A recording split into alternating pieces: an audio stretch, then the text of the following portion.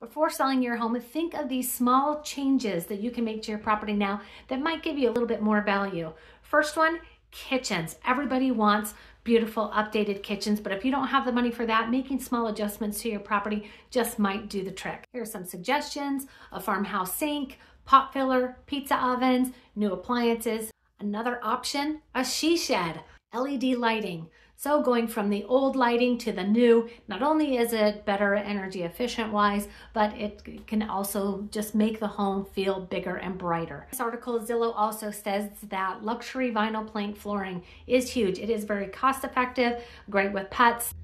Other updates would include modernizing your home a little bit, more of the more, more modern farmhouse. Like I said, the farmhouse sinks, the shaker style cabinets, large wood plank floors. On the list, upgrade those Formica cabinet uh, countertops to maybe quartz or granite countertops. People love the solid stone surfaces.